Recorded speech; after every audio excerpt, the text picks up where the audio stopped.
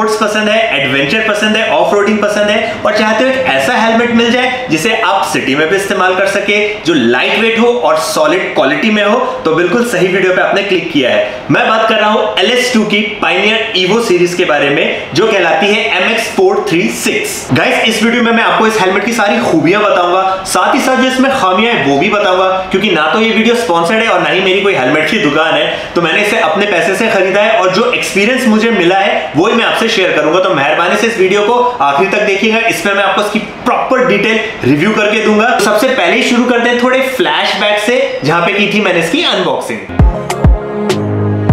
Start करते हैं unboxing ऐसा बैग मिलता है आपको इसके साथ में। और ये है हमारा हेलमेट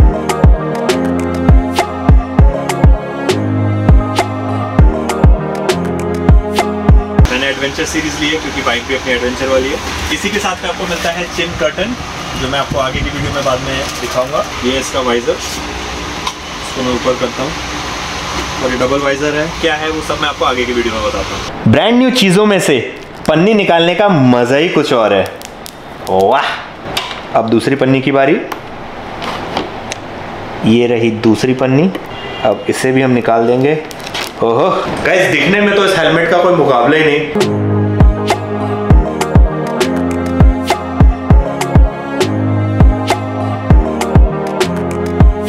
ड्यूल स्पोर्ट्स का है तो बहुत ही ज़्यादा लाइट वेट है।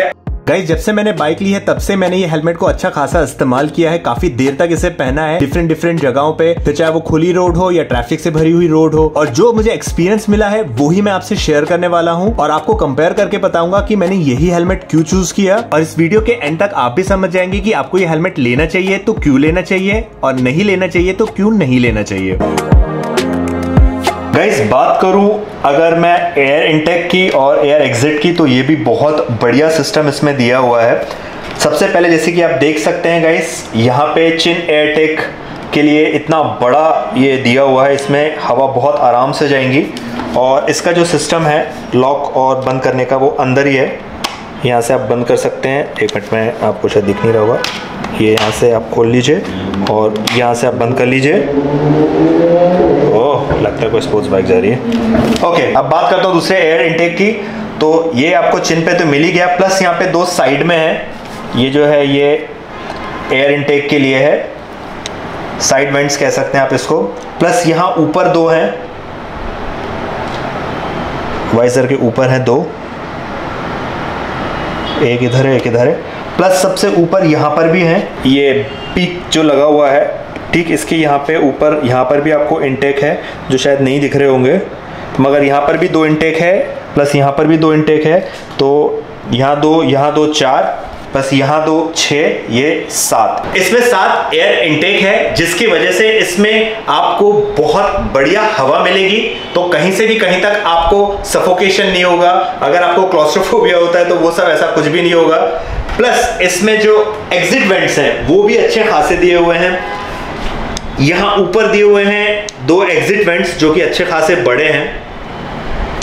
प्लस ठीक उसके नीचे यहाँ पर भी दिया हुआ है एक एग्जिट वेंट और उसके भी नीचे यहाँ पे दो ये जो छोटे आपको दिख रहे हैं ब्लैक कलर के, यहाँ पे एक है, एक यहाँ पर है। तो ये दोनों भी एग्जिट वेंट्स हैं। तो बेसिकली हवा अंदर जाएँगी और बाहर निकलेंगी और जो आपका सर इस हेलमेट के अंदर रहेगा, आपको बढ़िया लगता रहेगा, बढ़िया मस्त आपको एयर इनटेक मिलेगा तो ये भी इसका एक बहुत बढ़िया बेनिफिट है। जैसे कि आप देख सकते हैं विजन तो इसमें आपको बहुत बढ़िया मिलने वाला है। प्रॉपर 180 डिग्री का आपको मिलेगा बिकॉज़ यहाँ पे साइड में भी कुछ नहीं है। गाइस LS2 का एक और हेलमेट मेरे पास में है। इन हेलमेट्स की एक सबसे बड़ी दिक्कत ये होती है कि ये अच्छे खासे भारी होते हैं। फिर चाहे आप अपराइट चलाओ या झुक के स्पोर्ट्स बाइक चलाओ, आपके नेक पे बहुत ज़्यादा इसका लोड आता है। प्लस इसमें एयर इंटेक बहुत ज़्यादा नहीं होता है तो आपको कहीं ना कहीं गर्मी लगेगी, कहीं ना कहीं आपको सफोकेशन होगा।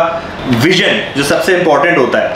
अगर मैं पूरा खोल लूँ तो आप देख सकते हैं, मैं आपको उंगली में दिखाता हूँ, ये देखिए। तो जो घोड़े को लगा रहता है ना ऐसा, जब वो दौड़ता है तो ये कुछ वैसा महसूस होता है। इनफैक्ट मैं आपको एक मिनट पहन के दिखाता हूँ तो आपको समझेगा।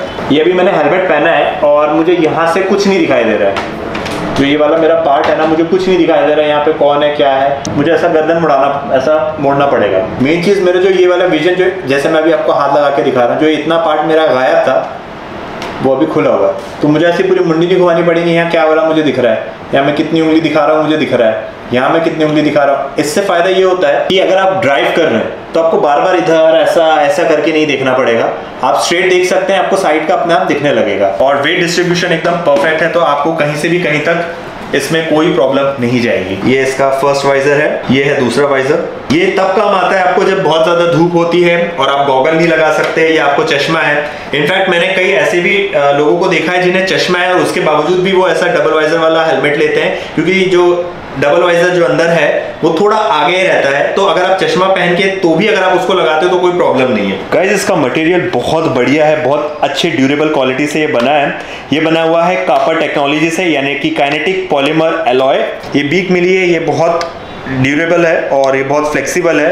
तो ये मत सोचिएगा कि ये बहुत कड़क है, कल को गिर पड़ गई तो टूट टाट जाएँगी, इतनी आसानी से नहीं टूटने वाली। ये सनशेड बहुत इंपॉर्टेंट होता है, खासकर जब आप लंबे राइड पे जा रहे हो धूप में। प्लस आप इसे भी एडजस्ट कर सकते हैं। यहाँ पे ऐसे नॉब्स टाइप दिए हुए हैं तो इसमें आपको स्क्रू ड्राइवर की ज़रूरत नहीं। आप अपनी हल्की सी थोड़ी सी बस ताकत लगाइए तो ऐसा ही खुल जाता है। तो अगर आपको आगे पीछे करना है जो भी आपकी रिक्वायरमेंट है उसके हिसाब से। और साथ ही गाइस ये जो बीक है ये डी अटैचेबल है तो आप इसे भी निकाल सकते हैं अगर आपको इसकी ज़रूरत नहीं है तो। गाइस एलिस्ट्रेट इंटरनेशनल ब्रांड है और ये ECE 22.05 सर्टिफाइड होता है। बट इंडिया में ये कंपलसरी कर दिया गया है कि कोई भी हेलमेट्स है उन्हें आईएसआई प्रमाणित होना चाहिए। तो ये भी आईएसआई प्रमाणित होके आया है। तो अभी इसमें से ECE हटा दिया गया है। लेकिन ये ECE सर्टिफाइड ही है। अगर आप इसके एक साल पुराने मॉडल देखेंगे जो कि ये सेम ही रहेगा सब कुछ, लेकिन उसमें ECE लिखा रहेगा। ये मैंने 22 में लिया है। ये बहुत लेटेस्ट है, इसलिए मुझे ISI प्रमाणित वाला मिला है। प्लस जो इसकी सेफ्टी फीचर्स भी है, वो भी बहुत बढ़िया है। अब सेफ्टी फीचर्स की बात कर ही रहा हूँ तो आपको दिखाता हूँ।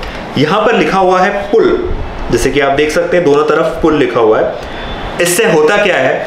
मान लीजिए आपका एक्सीडेंट हो गया और हेलमेट आपके सर में फंसा रह गया। कई बार ऐसा होता है कि बहुत खतरनाक एक्सीडेंट होता है और हेलमेट निकालना आसान नहीं होता है या फिर डेंजरस होता है। तब अगर कोई भी पैरामेडिक्स आई हुई है तो उन्हें पता होगा कि इन्हें बस इन दोनों चीज़ को पुल करना है। यहाँ पे दोनों तरफ़ से बस पुल करना है। तो ये पूरा हेलमेट जो है वो डिसमेंटल हो जाएगा और ये आप आसानी से आपके सर में से निकल जाएगा। मैं दुआ करता हूँ, कभी ऐसा हो ना, लेकिन ये भी इसका एक बहुत बढ़िया सेफ्टी फीचर है, जो आपको हर एक हेलमेट में नहीं मिलेगा। गाइस इस हेलमेट में एक और जो सबसे अच्छा सेफ्टी फीचर है, वो है ये गैप जैसे कि आप देख सकते हैं, ये मेरा मुँह है और ये है गैप ये अच्छा खासा गैप है। जो ये चिन वेंट है, उसमें और मेरे मुँह में अच्छा खासा गैप है। तो ये एक बहुत बढ़िया सेफ्टी फीचर है इसका। मोस्टली जो हेलमेट्स होते हैं, उसमें जो ये फ्रंट पार्ट होता है चिन वाला, वो एकदम फेस पे चिपका हुआ रहता है। तो जब भी ऐसा इम्पैक्ट पड़ता है तो आपको एकदम मुँह पे चोट लगने के चांसेस ज़्यादा होते हैं। इसमें अगर इम्पैक्ट आएगा भी तो ऑलरेडी इतना गैप है कि मैं अपने दोनों हाथ इसमें डाल सकता हूँ। इतना गैप है। तो अगर इसमें इम्पैक्ट आता भी है तो सारा जो भार है, वो यही झेल लेगा, मेरे मुँह तक के नहीं आ पाएगा। दूसरी चीज़, इसका फ़ायदा ये होता है कि जितना ज़्यादा गैप होता है उतना ज़्यादा आप आसानी से सांस ले सकते हैं। इनफैक्ट अगर मैं ये बंद भी करता हूँ, ये अगर मैं बंद करके भी सांस ले रहा हूँ तो एकदम से फॉग नहीं जमेगा। ज़्यादा थक गए हो या फिर बहुत ज़्यादा गर्मी लग रही है तो ऑब्वियसली अपनी जो साँसें हैं, वो थोड़ी ज़्यादा बढ़ जाती हैं। ब्रीदिंग जो होती है, वो ज़्यादा बढ़ जाती है। तो गैप जो होता है, उसके वजह से फॉग नहीं जमता है। तो सेफ्टी भी आपको मिलती है। इम्पैक्ट में प्लस फॉग भी नहीं जमता तो विजन वाइज भी आपको कोई प्रॉब्लम नहीं होगी। और गाइस इसकी स्ट्रैप्स की क्वालिटी भी बहुत बढ़िया है। मोस्टली क्या होता है, जो ये वाला पार्ट है ये गड़ने लगता है, मगर यहाँ पर जो है, ऐसा कुशन जैसा यहाँ पर दिया हुआ है। तो हमारा जो ये थ्रोट होता है ना बेसिकली एडम्स एप्पल जिसको बोलते हैं, उस पर अड़ता है। बट यहाँ पे जो ये कुशन दिया हुआ है ना, इसके वजह से आपको बिल्कुल भी ये नहीं गड़ेगा प्लस इसमें क्विक रिलीज़ है, यानी आपको सिर्फ़ इसे खींचना है और ये निकल जाएगा। मोस्टली जो हेलमेट्स होते हैं, उसमें आपको ऐसा पुल करना होता है और आपको ढूंढना पड़ता है कहाँ है। इसमें ऐसा नहीं, बस इसको आप पुल करो एंड दैट्स इट ये रिलीज़ हो जाएगा। तो चलिए अब मैं आपको दिखाता हूँ इसके अंदर की क्वेश्चनिंग क्वेश्चन है अंदर, बहुत सॉफ्ट है और बहुत बढ़िया है। And the best part is आप इन्हें पूरा निकाल के धो सकते हैं। ये सब वॉशेबल है। होता ये है कि कई ऐसे हेलमेट्स होते हैं जिसमें डी अटैचेबल कुशन नहीं होते हैं अंदर के, जिसकी वजह से उसमें स्वेट वगैरह जब लगता है तो बहुत स्मेल आती है और वाटरप्रूफ नहीं होते। और जो वाटरप्रूफ होते भी हैं तो आप डी अटैचेबल नहीं होते तो आप निकाल नहीं पाते हो तो आपको उसी में धोना पड़ता है। इसमें ऐसा नहीं है, आप इसको निकालो, इसका सारा कुशनिंग निकालो, बढ़िया धो, सुखाओ, जब वो सूख जाए, वापस इसमें लगा दो। गैस इसका चिन कटन आप देख सकते हैं अच्छा खासा बड़ा है। मोस्टली जो हेलमेट्स होते हैं, उसमें जितना ये आपको दिख रहा है ना, इतना पार्ट ये बस इतना ही होता है, मगर इसमें आप देख सकते हैं इतना बड़ा है। इससे फ़ायदा ये होता है कि आपके चिन के लिए भी एक अच्छा सपोर्ट हो जाता है। प्लस अगर आप गोप्रो वगैरह का जो माइक लगाते हैं तो जो नीचे से हवा आती है, वो भी ये रिड्यूस कर देता है। And the best part is आप इसको आराम से निकाल सकते हो। ये फुल्ली डी अटैचेबल है। एक और चीज़ इसमें जो सबसे अच्छी है, वो है, जैसे कि आप इस साइड में देख सकते हैं, यहाँ आपको नट दिख रहा होगा। गैस और ये वाला जो पार्ट आपको दिख रहा है ये गड्ढे गड्ढे जो दिख रहे हैं। बेसिकली ये बना हुआ है स्पीकर्स के लिए। और गैस दूसरे साइड में भी है। तो दोनों साइड में ही स्पीकर्स के लिए दिया हुआ है। तो जो भी आप इसमें सिस्टम लगाएँगे, उसमें आपको बहुत बढ़िया साउंड मिल जाएगा। प्लस आपको इसमें रिफ्लेक्टर्स भी मिलते हैं। ये ऐसे रिफ्लेक्टर्स हैं। तो अगर आप नाइट में ड्राइव करते हैं तो ये रिफ्लेक्ट होते हैं विच इज़ गुड गाइज़ इसमें साइजेस आपको करीब आठ मिल जाएगी। डबल एक्सेस यानी कि extra extra small extra small small medium large मेरा वाला लार्ज है। और XL double XL triple XL तो जो भी आपकी साइज़ है उस साइज़ का हेलमेट आपको मिल जाएगा एल में। प्लस कलर ऑप्शन भी बहुत सारे हैं इसमें। गैस इसका जो वाइजर है वो स्क्रैच रेजिस्टेंट है यूवी रेजिस्टेंट है और फॉग रेजिस्टेंट है। प्रूफ नहीं है रेजिस्टेंट है। अब इतनी सारी खूबियाँ मैंने आपको बता दी। अब जरा इसकी खामियाँ भी बता देता हूँ। सबसे पहली खामी इसमें आपको एंटी फॉग के पिन लॉक्स दिए हुए हैं लेकिन एंटी फॉग वाइजर नहीं दिया हुआ है। मतलब कमोन यान एल एस टू आप 9250 चार्ज करते हो, इतना बढ़िया, इतना खूबसूरत आपने हेलमेट बनाया है, इतने सारे फीचर्स दिए एंटी फॉग वाइजर भी दे देते हैं जबकि एसएमके का जो मॉड्यूलर है, उसमें तक आपको मिलता है तो एल जैसे इतना बड़ा ब्रांड है तो उसे देना चाहिए था। अगर आप अलग से परचेज करना चाहते हो तो वो करीब 2000 के आसपास आपको पड़ेगा, और जो चाइना मेड होता है, जो कोई ब्रांड का नहीं होता यूनिवर्सल जो होता है, वो कुछ हज़ार रुपए के आसपास पड़ेगा। लेकिन एल को एंटी फॉग वाइजर देना चाहिए था। तो ये एक मुझे डिसएडवांटेज लगा। दूसरा मैं इसका नहीं कहूँगा। मैं कहूँगा हर वो हेलमेट जिसमें ज़्यादा एयर इनटेक होता है, उसमें विंड नॉइस आती ही आती है, क्योंकि इतने सारे वेंट्स है। यहाँ से अंदर जाएँगी हवा, वहाँ से निकलेंगी तो वो आपको आवाज़ आएगी। लेकिन जैसे 120 क्रॉस करके 130 140 क्रॉस करेंगे तो आपको विंड नॉइस महसूस होगा कि नहीं यार, बहुत ज़्यादा आवाज़ आ रही है। उसके लिए आपको ईयरबड्स वगैरह भी आते हैं, बहुत से लोग यूज़ करते हैं। मैं उसकी लिंक डिस्क्रिप्शन में दे दूँगा तो आप ले सकते हैं तो आप ईयरबड्स लगा लीजिएगा तो उतना प्रॉब्लम फिर नहीं होता है, क्योंकि अफकोर्स यार, कुछ पाने के लिए कुछ खोना पड़ता है। अब आपको इतनी सारी हवा आपको हेलमेट के अंदर चाहिए तो आवाज़ भी तो आएगी ना। इसका एक और एक डिसएडवांटेज जो मुझे फील हुआ वो ये कि जो इसकी बीक है जब आप सिटी में ड्राइव करते हो तो कोई प्रॉब्लम नहीं है लेकिन जैसे आप uh, 120 140 के आसपास जाते हो तो जो ये बीक है वो हल्का सा आपको ऐसा पीछे धकेलेगा। ऐसा नहीं कि आपका हेलमेट ही बाहर निकल जाए या जो आपके पीछे बैठा है उससे आप टकरा जाओ नहीं।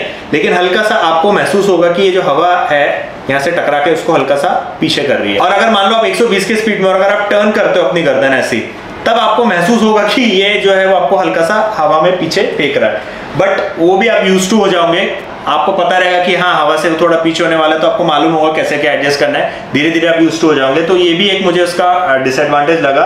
आई थिंक 100 120 की स्पीड ही हमारी मैक्स रहती है तो उसके हिसाब से ये हेलमेट एकदम परफेक्ट है। ऑफकोर्स हेलमेट अच्छा है बिल्ड क्वालिटी इतने सारे फीचर्स इतना सारा सेफ्टी सब कुछ बहुत अच्छा है। लेकिन प्राइस थोड़ा कम और होता ना, जैसे मान के चलिए एट के आसपास होता ना तो ज़्यादा बेटर होता। एंटी फॉग अगर आपने वाइजर दिए होते तो फिर जस्टिफाई किया जा सकता था। गैस एल के स्टोर्स सारे सिटीज़ में तो अवेलेबल नहीं है। बट डोंट वरी मैंने इसके लिंक डिस्क्रिप्शन में दिए तो आप वहाँ से भी परचेज कर सकते हैं। लेकिन अगर आपके शहर में एल के स्टोर्स हैं तो बेटर है कि आप वहाँ से खरीदें। तो गैस यही था मेरा एक्सपीरियंस जो मैंने आपसे शेयर किया। लेकिन अगर आपको इसके बारे में कुछ और एडवांटेजेस और डिसएडवांटेजेस पता है, जो मैं मिस कर गया तो प्लीज़ कमेंट सेक्शन में ज़रूर बताइएगा। और अगर ये वीडियो पसंद आया तो इसे लाइक कीजिए, इस पर कमेंट कीजिए, और साथ ही साथ इसे शेयर कीजिए। नए हैं तो सब्सक्राइब कीजिए। इससे मिलता है हमें एनकरेजमेंट और आपको मिलेगा हमारे चैनल पे एक से बढ़कर एक मल्टी टॉपिक कंटेंट और हम फेसबुक और इंस्टाग्राम पे भी है जहाँ हमारे चैनल से रिलेटेड बहुत सी अपडेट्स डालते रहते हैं तो आप हमें उस पर भी फॉलो कीजिए। बहुत जल्द हाजिर होगा नई वीडियो के साथ। तब तक खुश रहो, खुश रहने दो। Praise the Lord bye